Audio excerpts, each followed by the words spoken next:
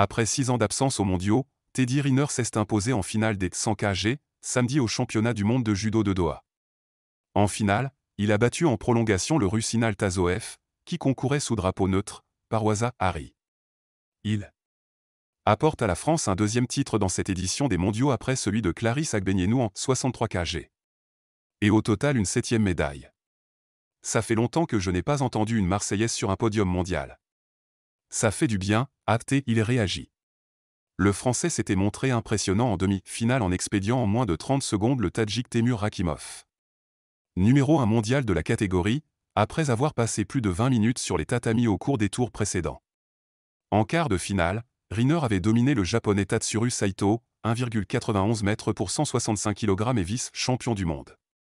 S'il n'a pas réussi à marquer, il a fini par faire craquer la nouvelle sensation nippone aux pénalités après 3 minutes 40 de prolongation.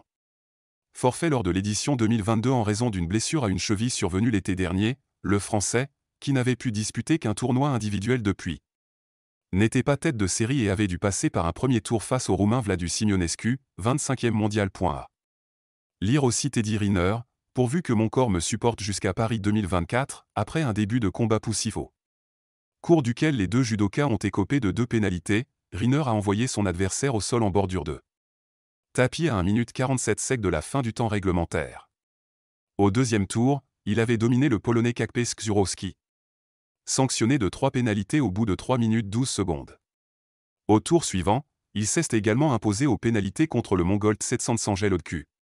Classé au quatrième rang mondial de la catégorie des 100 kg et vainqueur en février du Grand Slam de Tel Aviv. Journée pas facile, je crois que c'est une des plus grosses journées de toute ma carrière, a déclaré Teddy Riner. Pas de rythme de toute la journée, du coup, Quest, ce qu'on utilise. Le mental, il ne reste plus que ça. Riner se présentait au Qatar avec l'envie de se tester au contact des meilleurs judokas à un an des Jeux de Paris. Son grand objectif. Le Guadeloupéen n'avait plus participé au rendez-vous mondial du judo depuis son dixième sacre en 2017. Il avait dû renoncer à l'édition 2022 en raison d'une vilaine blessure à une cheville subie durant l'été et était revenu aux affaires en février en remportant le Grand Slam de Paris. Il visera à Paris un troisième titre individuel.